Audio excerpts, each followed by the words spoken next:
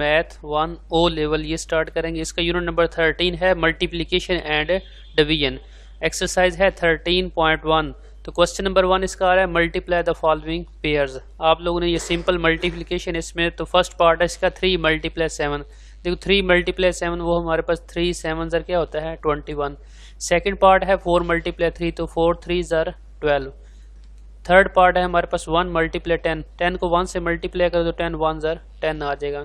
इसका four part है हमारे पास नाइन मल्टीप्लाई नाइन नाइन को नाइन से मल्टीप्लाई करो तो नाइन नाइन ज़र एटी वन आ जाएगा। नेक्स्ट फाइव पार्ट है हमारे पास ट्वेंटी मल्टीप्लाई फाइव आप लोगों ने ट्वेंटी को फाइव से मल्टीप्लाई करना है। फाइव को ज़ीरो से मल्टीप्लाई करेंगे तो ज़ीरो आ जाएगा। फाइव को टू से मल्टीप्लाई करो फाइव टू ज़र टेन तो इस तरह ट्वेंटी मल्टीप्लाई फाइव वो क्या आ जाएगा। हंड्रेड आ जाएगा।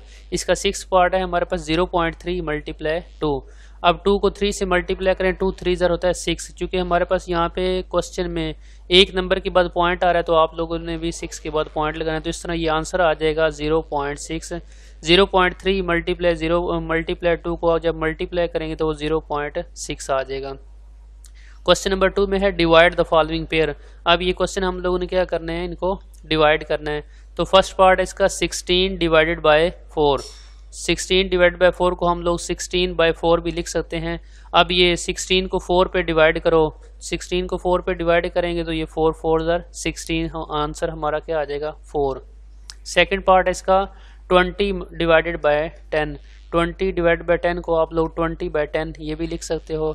जैसे ही 20 को आप लोग टेन पे डिवाइड करेंगे तो हमारे पास आंसर क्या आ जाएगा? टू। क्योंकि टेन, टू ज़र क्या होता है? 20 थर्ड पार्ट है हमारे पास इसका 25 डिवाइडेड बाय 5 25 बाय फाइव।